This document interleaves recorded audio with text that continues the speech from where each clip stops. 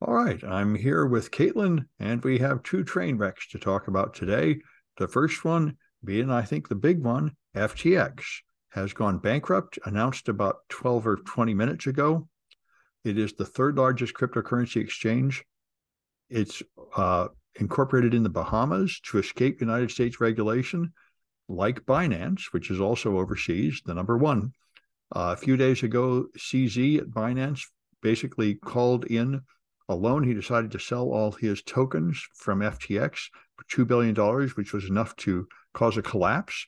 And then he considered buying it to save them. But when he looked at their books, he found out their situation was far worse than expected because they had transferred $8 billion to prop up another exchange by the same founder, Sam Bankman Fried, called Alameda. And that money was all lost. So he said, uh, There's no hope of saving these people, and he's not going to buy them. And they have declared bankruptcy, and Sam Bankman Fried has resigned. Now, he apparently faces uh, financial investigations, uh, although I'm not sure what jurisdiction, perhaps the Bahamas. The Bahamas have frozen his assets, have frozen the FTX assets. So it, it uh, I'm sure there will be tons of legal cases coming out of this, and there will be collateral damage. So far, Coinbase has claimed that they do not have much exposure here. So perhaps Coinbase will survive, which is very important because Coinbase is the most important American exchange. And Tether has not lost its peg yet, but people are concerned that both of those things would happen. And that would be an even more catastrophic collapse of the crypto space.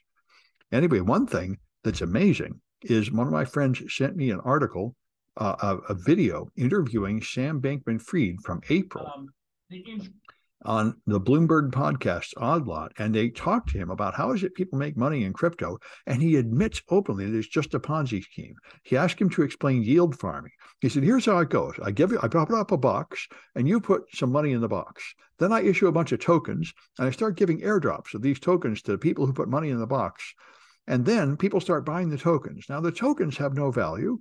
But of course, people will start buying them, saying, oh, here's a new crypto. Maybe it will go up. Let's just buy some of that. So it then gain some value. So now people are getting interest in putting money in the box. So people just put more money in and getting more tokens. And that's how it works. And they said, that's incredibly cynical. There's no actual value anywhere. That's just a Ponzi scheme. And he said, well, yeah, yeah, but so is pretty much all investing these days, which is the argument I hear from crypto bros a lot, which I'm afraid I cannot refute which is that the so called legitimate investment is pretty much all Ponzi schemes anyway, like, for example, Tesla. Tesla actually does sell cars, but it sells at a price 10 times what the cars are worth for no apparent reason. People just keep pouring in more money because they just keep believing it will go up. And as long as uh, Elon stays in the headlines, this will work. So you're just dancing on air, and it's uh, it's more like show business, where it's just a matter of staying popular than it is like actual legitimate old fashioned business where you actually do something that produces something of value and you trade it to people for money, and that's how you make money. So, anyway, um, that's the big disaster going on. And now I think we can go on to the second train wreck, which Kaitlyn is going to start. Yeah. So, there are in the media uh, and in social media as well, a lot of prominent figures attract racists by using dog whistle language. That would be Trump. Like Trump, for example, but also Elon Musk. Yeah. And a lot of people sort of ignore it. They don't think it's that big of a deal.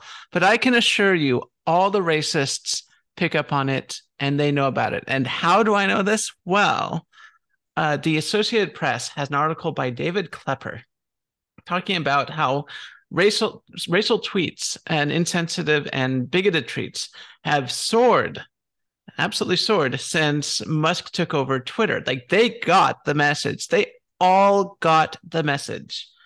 Uh, so, in particular, uh, the article talks about researchers at the Center for Countering Digital Hate. Uh, they looked at various racial and ethnic and bigoted slurs slurs that were happening on Twitter since Musk bought it, and uh, attacks against uh, Black people were twenty uh, three times the average for 2022, so 300% increase. trans um, slurs increased 53% and homosexual you know uh, slurs towards homosexual men went up almost 40% Uh, and of course, there's also been a bunch of increased uh, hate language towards Jews and Hispanics. So yeah, the the bigots they they hear it, they get it, and they act on it, and that's why you know you, no one should be putting up with any sort of you know dog whistly language. It's not okay. It is is just as bad as if the politician came out and said, you know, it's okay to use slurs. It's it's not. Well, I don't even think there's a dog whistle. I mean, the head of the Geo, the GOP uh, Senate committee issued a tweet saying Elon, Kanye, Trump. Those are our guys. That tweet is still up. Yep. And uh, the first thing Musk did was spread homophobic slurs about Nancy Pelosi's husband, and he and he said free speech was to bring back in the alt right. So I think there's not even been a dog whistle in this case. He just made it very clear that was his goal.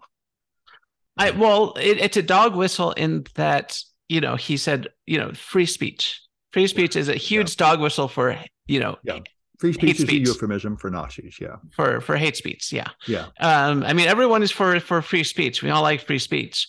Uh, it's important to know that Twitter's not the government. It does not regulate free speech.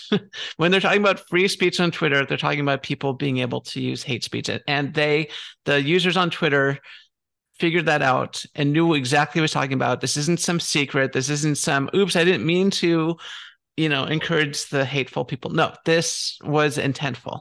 Yeah. Of course, this reminds me of an article long ago in the before times, like 10 years ago, where they said, you know, there's no no one on earth that actually wants free speech.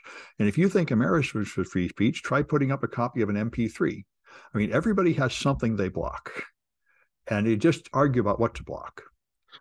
Well, the idea behind free speech is that the government is not supposed to limit what you can say. But they do. There's always there's in every nation there's a bunch of things you can't say. In America, it's the only things you can't say are things that would put people in physical harm or violate their rights in uh, other no, ways. No, you can't put up a copy of an MP3 on your website that's pirated. Uh, well, well, yeah. I mean, there's that's copyright infringement, not free speech. You, well, that's that's the part because money is what's sacred in America. In well, other true. countries, it's like you can't insult the king because that's what they regard as sacred, but they don't care about pirating MP3. Okay. Anyway, fair enough. Yeah. And and so I've been following the Twitter thing too. Of course, it's unbelievable, and that got my attention because they hit my alma mater, the FTC. Twitter had a data breach. They run an FTC um, court order since I think 2011, and another one renewed this year for sloppy handling of data. And they are therefore required, among other things, not to roll out any new products without having a security audit first. But Musk has fired not only the security team, but he's also been rolling out products without that auditing. And this requires someone at Twitter must sign a document claiming that these products have gone through a security audit, and they haven't. And the content moderation team has quit because they tried to make them sign this. And there was a guy named Roth who was one of the big wigs retained at Twitter. He was the one that retained any credibility. And he just resigned yesterday because apparently he knew that he would personally be risking legal exposure by signing the document saying that these products had undergone the audit, which they have not undergone, which is very much like what happened to the latest round of Trump lawyers uh, they were tricked into this one was tricked into signing a document saying that they had handed over all the classified documents when they knew they hadn't. And so, uh, and then Musk had his first meeting. He called an all hands meeting. He gave people only like 20 minutes notice, and then he showed up 15 minutes late. And then he rambled for an hour with very Trumpian statements, but he said Twitter might go bankrupt. So this is uh, when I came home late last night after teaching. I noticed all my friends are totally abandoning Twitter. We're going to Mastodon. This place is burning down. It may not be here by the morning, and I see why they're saying it. I mean, he doesn't say it's going to go bankrupt that fast, but he does say we have to do crazy things to make a pile of money immediately, or we'll go bankrupt. And all of his crazy stuff so far, and it is very disturbing. And uh, apparently, they're facing, they're taking, they're risking huge punishments from the FTC by just blatantly ignoring the court order, which is what Trump uh, Musk has always done. He's always just ignored all the laws, ignored the Securities and Exchange Commission, just blast right through the stop signs everywhere he goes, and he's doing it again. And uh, maybe, just like we're saying about Trump, maybe he won't get away with it this time, but he always got away with it before. So we'll see. But the one thing I think he can't do is magically get a billion dollars a year out of Twitter, which is what he needs. I think that's just uh, wishful thinking. He is planning to turn it into PayPal, which is just recycling his old idea that worked. But I really don't understand how Twitter turning into PayPal is suddenly going to make a pile of money when since there already is PayPal. So I think uh, I think we're seeing the collapse of of, of hubris. Somebody just thinks they can make money out of nothing, being humiliated and demonstrating that they can't make money out of nothing. But we'll see. He still has the PayPal mafia, the whole gang of people that worship him anywhere he goes, and maybe they'll continue to hold him up. But uh, it doesn't look like it. Anyway, um, another one is GitHub's Copilot. I've heard this more and more people say Copilot is great. You have to pay some money, and then it will suggest code to you. When you're coding, it'll say, "Hey, add this code. This code looks good." Sort of like Clippy. Looks like you're writing a program. Let me suggest some lines of code. And apparently, they're pretty good code, but unfortunately, they're too good. Open source developers have said, "I find it suggesting just the page of code that I wrote." So what they did was they trained an AI on all these open source projects, and the open source is just repeating verbatim what it learned. The AI is, and therefore the, uh, they're being sued, saying all the code created with GitHub Copilot should therefore be treated as open source. Since you did just copy it from open source code, and the fact that you passed it through a so called AI doesn't change the fact that you've just copied open source code. That seems like a pretty good argument. And that seems like no corporate user can actually use it. And it raises the specter that all the code you write with this tool, you might get sued for later and required to uh, open source it and abandon the profits you're making from it. So we'll see what comes to that. But that seems like a really strong blow against it. Anyway, uh, let's go back to you. You got more delightful news. Everybody getting fired. Yeah. So we all know that once Musk took over Twitter, they had huge layoffs. Lots of people no longer employed at Twitter. They're all looking for new jobs. Well, it turns out that Twitter was just the beginning. So the Financial Times has an article written by Richard Waters um, talking about the other layer, layoffs that are going on right now. So there's, of course, all the stuff going on at, at Twitter, uh, but Meta is also at the same time uh, killing off a bunch of their jobs. Um, and that's a much bigger amount of people. Yeah. Uh, well, yeah. So, yeah, Twitter lost 3,700 jobs, according to the article. And uh, Meta said it was uh, getting rid of 11,000 jobs. Um, so, uh, but other companies are doing the same. So, there's Stripe, which is laying off a bunch of people as well. Um, and uh, Amazon, uh, Apple, Microsoft, Alphabet, they're all uh, basic. Well, I know at least Amazon um, is also laying off people from their devices sector. Apparently, people are buying Alexas and using it for very basic things like Alexa, turn on the lights, um, or Alexa. Oh, I didn't find it. you know, there, there's.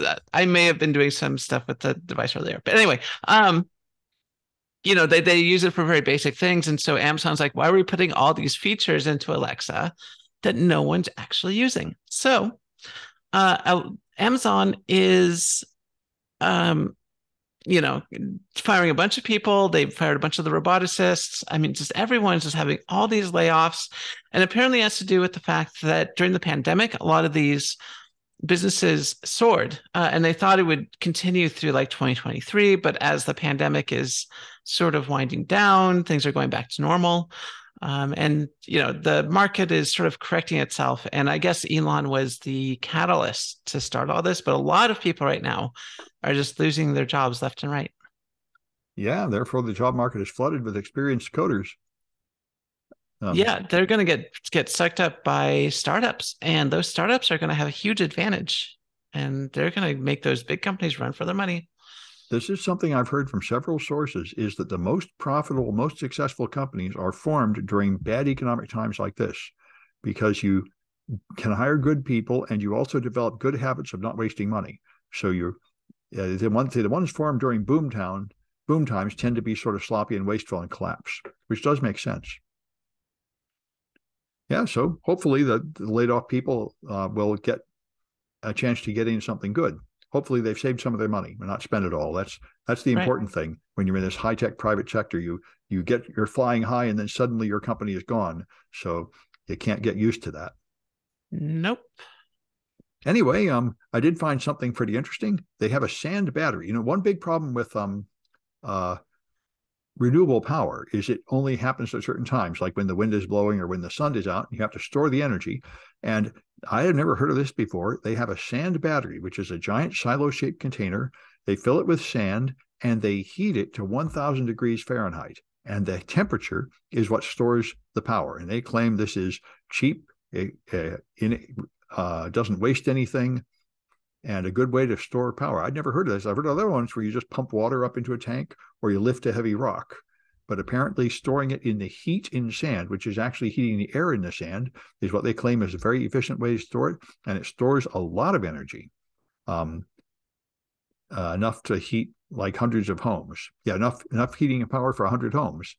So it's uh, it sounds pretty good, and this would be a certainly much better thing to have rather than the sort of uh, energy generating plants we have now spitting with smokestacks. If you just had a wind farm or something connected to a silo full of sand, that seems a whole lot more uh, environmentally friendly. So I was interested in that. And that's an article from the BBC. And you've got a quantum computer.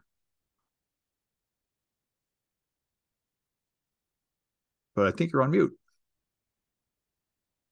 I was on mute. Thank yeah. you. Mm-hmm. Sorry about that. So yeah, Ars Technica has a, a uh, article uh, from John Timmer, written by John Timmer, talking about new computers, new quantum computers with 400 qubits, over 400 qubits, like only like 433 qubits, which is a lot of qubits. I remember when they were like, we have eight qubits, we have 16 qubits. Uh, now they have 433. And I thought by now now that we have like 433 qubits, we'd be breaking encryption and doing all this cool stuff, but we are not. We are absolutely not. We're still far away. We still need more qubits. And the big problem with this computer is that it's not stable. So you put in your uh, you know quantum program, and you know a couple times you get the right answer. Sometimes maybe.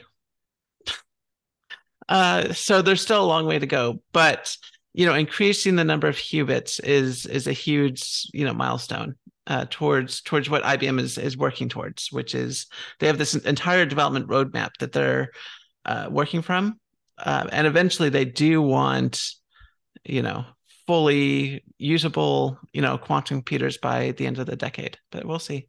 Yeah, yeah, but I mean the problem is, as it always has been, uh, noise, qubit quality, and the connection right. quality. Um, we need to overcome that. Although there was a, a, development about three months ago where they developed quantum error correction to try to mm-hmm. deal with the noise. So, you know, all the it's very exciting. And I think definitely in 10 or 20 years, we'll have quantum computers that can really do things like blow through RSA. But the current ones are all just prototypes developing the technology. Right. But we're getting closer. That's the important yes. thing. Yes. And some of them can actually do some useful things, like the ones that use uh, quantum annealing instead of the uh, algorithmic types. Mm-hmm. All right. All right. Well, that's it for this one. And we'll be back on Tuesday.